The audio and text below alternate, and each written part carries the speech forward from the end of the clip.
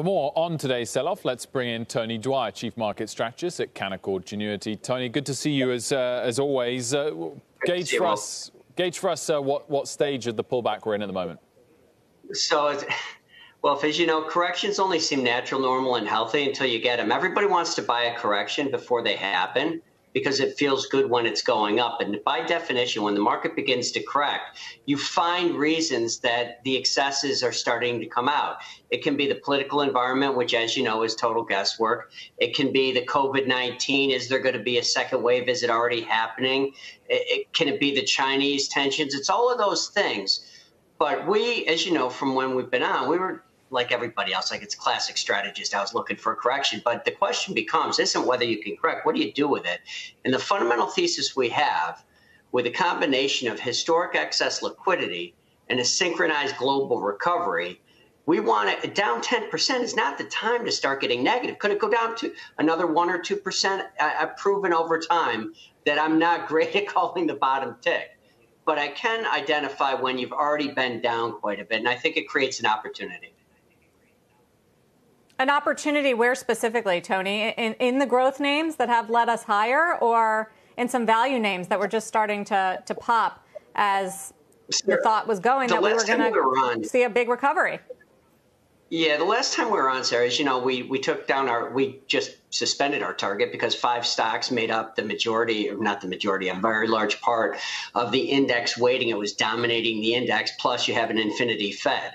So the, there were such excesses in those mega cap, work from home, stay at home stocks.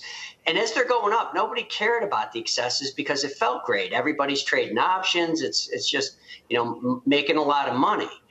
But as you know, our call was to reduce excess exposure in those stay-at-home mega cap names in favor of the economically sensitive names.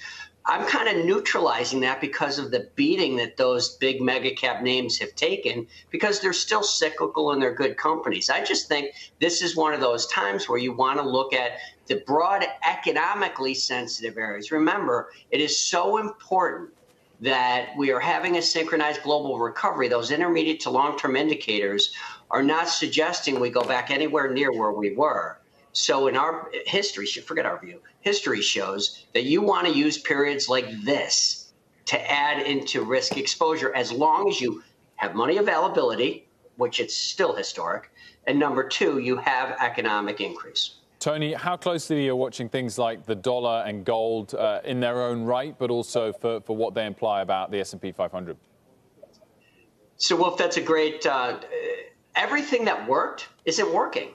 The mega cap stocks are getting hit. The dollar's having a reflex rally. Com- commodities and gold are under pressure. So I went back and I looked at the Dixie, the DXY, which is the U.S. dollar index uh, symbol. I went back and I looked. There's four periods where we've had this kind of excessive weakness from peak to where we recently were, and in all these periods, you go down double digit percent, but within that, you typically can have a four, uh, three to four percent counter trend rally. So I think similar to how we're correcting the excesses out of the gains in the stock market, I think we're also correcting the excessive near term weakness in the dollar. In other words, just a counter trend move. So from here, again, you should.